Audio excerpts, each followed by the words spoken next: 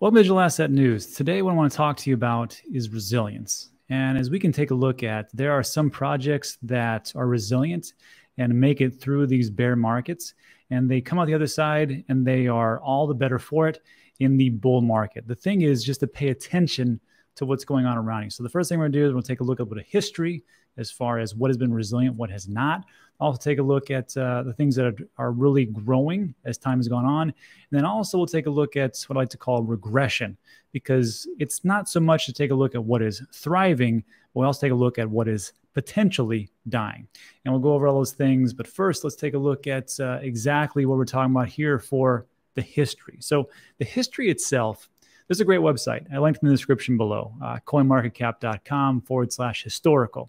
And I want to take you back all the way to May 5th, 2013.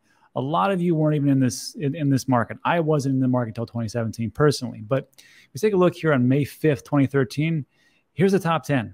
And pretty much this was it.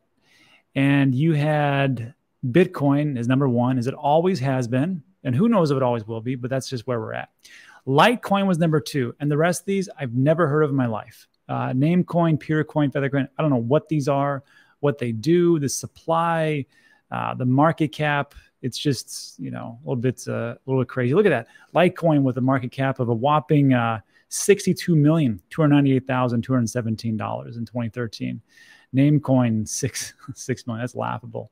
So again, these things that are that are out here, and, and during this time frame, trust me, people were talking about how great those those projects were and how they would last forever. Not so.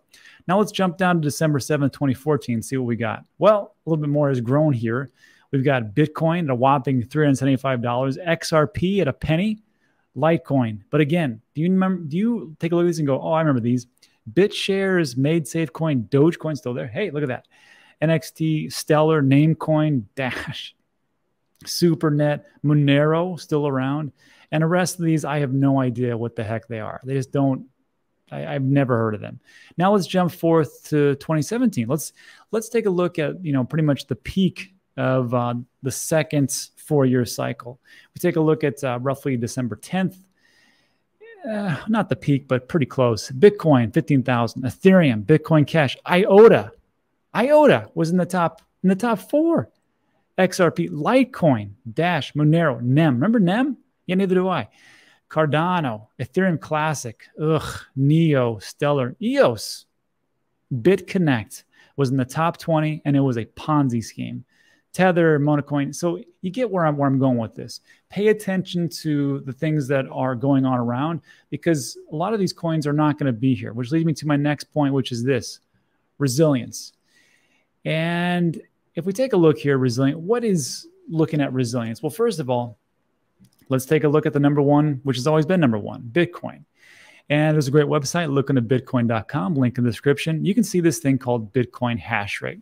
This is the amount of computational power that is put out by the network with all the different mining rigs that are out there as they push forth and try to mine Bitcoin for every block every 10 minutes. And we can see here that the hash rate uh, has fallen from its all time high. And we can see the hash rate here at uh, exahashes or how uh, an incredible amount of, of, of, computational power and electrical power that is being used. But we've, we've, tapered off since December 13th. And actually, we tapered off starting in November. Uh, one of those was, of course, the crash of, uh, of FTX, and that led to the price of Bitcoin going down. Remember, these Bitcoin miners, they have to sell Bitcoin because they have overhead, and it took a big dump. Now, over here in, in December, what the heck happened? Well, one of the things happened here is that in Texas, uh, my home state, or my state that I, I, I, vacation quite frequently, right now we are living in Puerto Rico, uh, we've had a, a huge cyclone, cyclone bomb.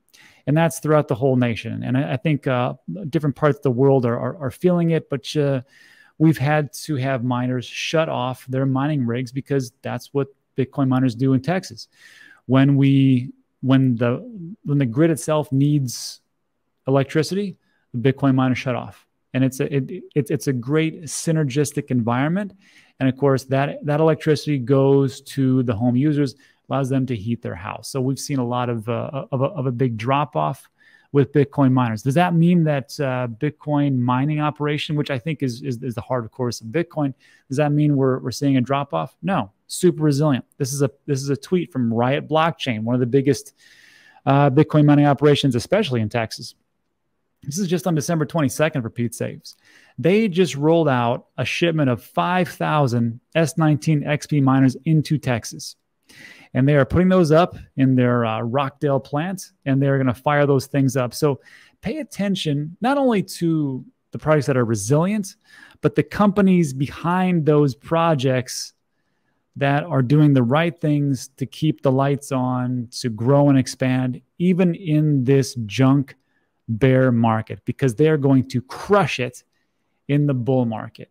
And also, uh, just a little side note, I found this very interesting, and I had talked about this before, and I and this is when uh, there was a big uh, cold front in Europe, and I said, hey, if you're a Bitcoin miner, why don't you just heat your house with your Bitcoin miners? And people laughed at me like, you're dumb.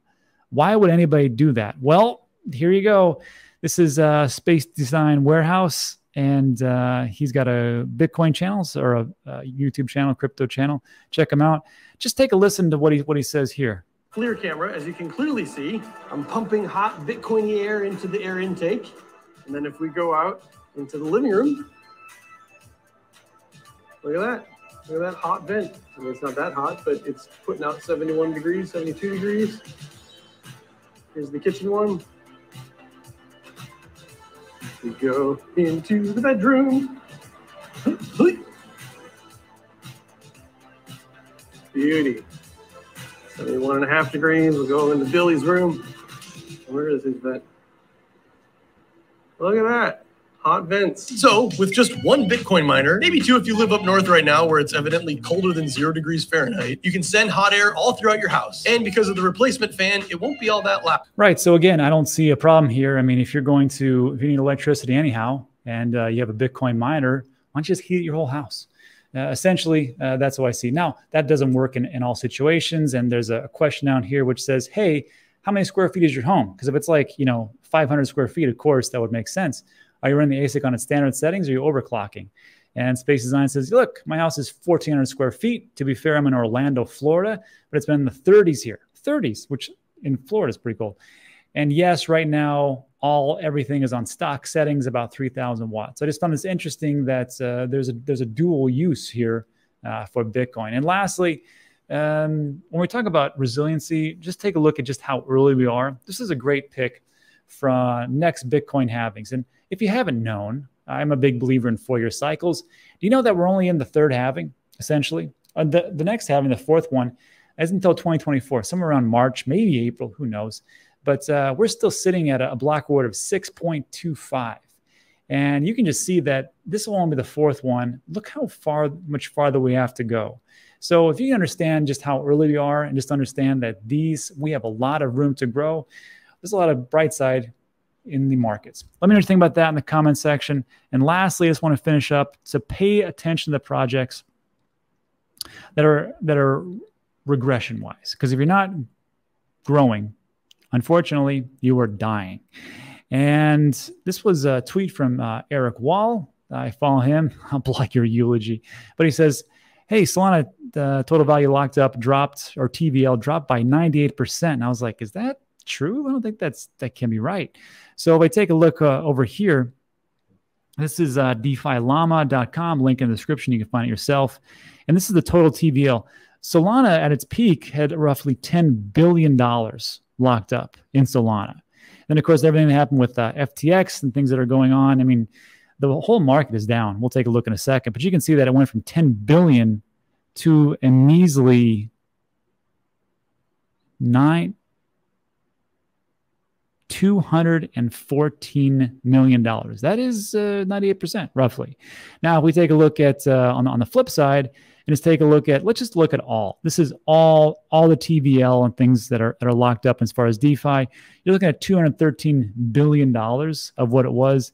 Now we're at 45 uh, billion dollars. That's about an 80% reduction. Okay, livable. Ethereum same type of thing. Just Ethereum itself had around 117. Now it's at 26 billion. So roughly 80%. But we can see here, 98% uh, is quite a bit. And uh, that's not it. Also, there are some other projects that are jumping ship. Top Solana NFT products find new homes on Ethereum and Polygon. Uh, these two projects, they're NFTs. I'm not a big fan of NFTs, but sure. Projects DeGods and y00ts are moving away from the network. Both products announced on Twitter on Monday. Here, essentially, is the tweet DeGods will officially bridge to Ethereum in Q1. The bridge is not the destination; it's in the path to get there, and it's not multi-chain, as a lot of people have, have uh, say here. Hey, please consider multi-chain to allow one-way NFT bridge, and they're like, no, we're just going to do away with that. So DeFi said it will bridge over to Ethereum in the first quarter of 2023, while y00ts will move to Polygon, also in the upcoming first quarter. I like the uh, the idea of Polygon myself. Details the bridge will, be released when it's ready and tested. This has never been done before at this scale. Both products tweeted on Monday. We want to make sure it's airtight. DeGods and y00ts, the two most traded Solana NFT collections in the OpenSea marketplace. DeGods floor price stood at 790 SOL, which is that's a lot, 8,900, which would have been a heck of a lot more at its all-time high. And then y00ts is about 215 SOL floor price. So again, I'm not saying that uh, Solana is dead but I'm just saying that uh, just pay attention to the ones that uh, are dying. Because again, if you're not growing and pushing forward, what are you doing? That's just where we're at. And that's it. So look, if you like today's video, give it a thumbs up, consider subscribing. We will probably do a live stream later today. I'm trying to work my way up to doing one recorded video and one live stream. A lot of things that are going on here. I just need to keep myself busy. And that's what we got. So again, like and subscribe. Thank you so much for watching. I appreciate it. And I'll see you in the next one.